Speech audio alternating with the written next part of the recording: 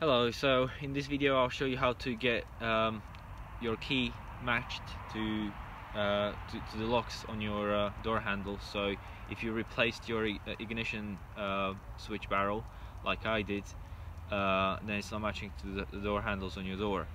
Uh, it's quite simple really, so I'll just show you how to do it. so obviously you'll have to take the door handle off first. So you undo the two bolts that hold it here. So there's one here and another here and then you just sort of wiggle it to get it out. Can be a bit of a pain sometimes. That's it. Now let me just show you. So what you'll need for this job is like a small pin uh, something like this. Uh, then some nose nose pliers. I'm using um, water pump uh, big pliers as well and a hammer but you don't really need a hammer. I'll show you why why I'm using a hammer as well.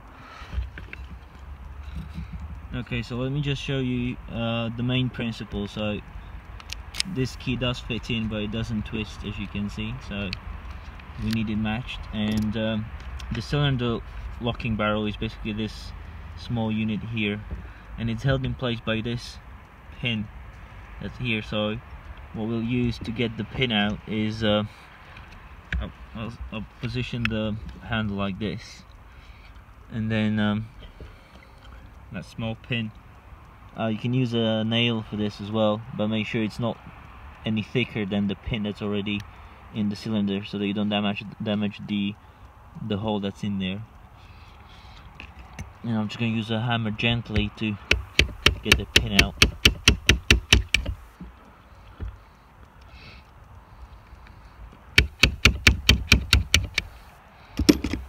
okay that's the pin.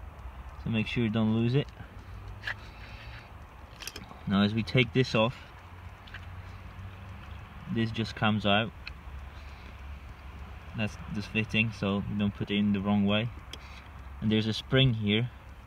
And be careful when you take that off uh, so it doesn't jump out and you don't lose it somewhere. So carefully take it off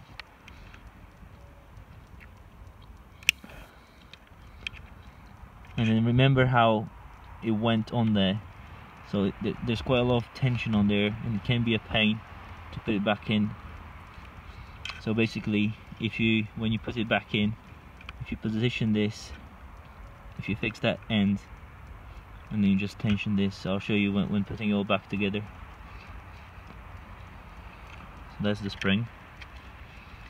And now the cylinder just pops out. There's some grease on it which is good now the, the, the way this works is uh, as you put the uh, key in it's meant to hide all the pins so that it's flush as you see this pin is sticking out so that's what's preventing it from turning inside. So we'll have to take all, all these pins that are in here out and put them back in in a way that when you put the key in it doesn't uh, it doesn't uh, none of the pins are sticking out. And the pins in there just come out easy with the nose plier. And the hole that's in the in this here in the pin that's where the key goes through and then all the pins have different uh, size uh, you know of this part. So when you take them all out you can compare them. See for example this one has this part a bit shallower compared to this one. Not sure how you, well you can see it on the video but that's the difference anyway. And the and the pins in there are held uh, by a couple of very very tiny uh, tiny springs. So make sure you don't lose those as well.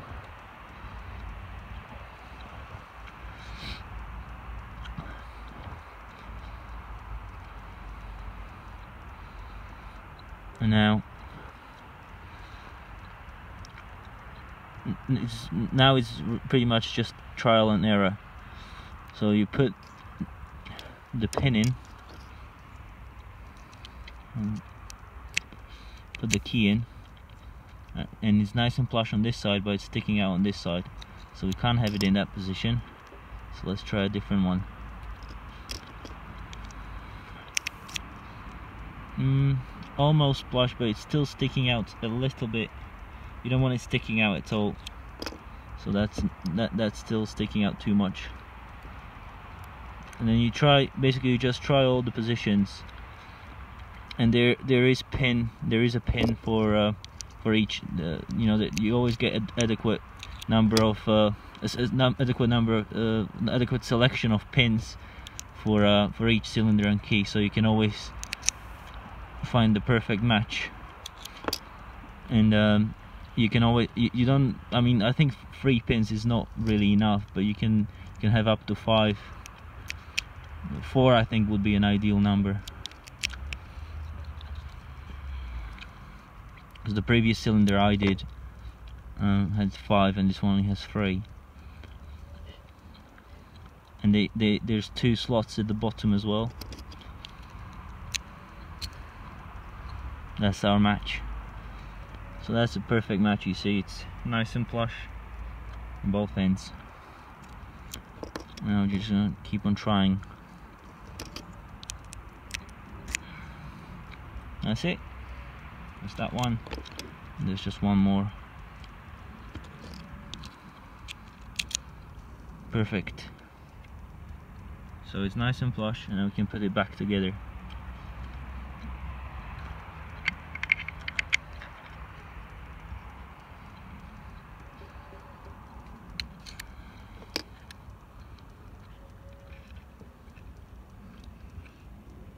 so remember what I said about the spring.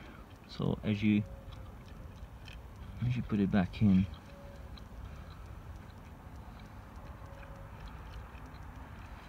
It, as you can see the spring has like kind of it's kind of bent so it hooks properly on there.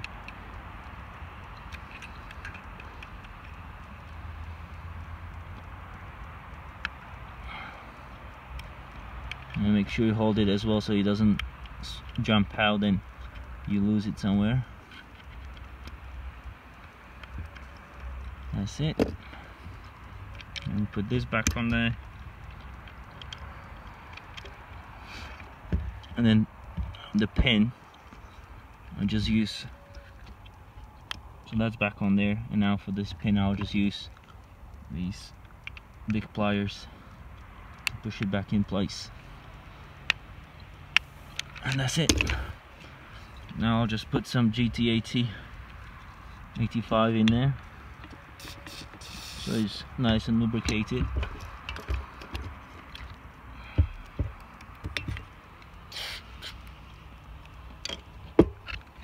It spins freely.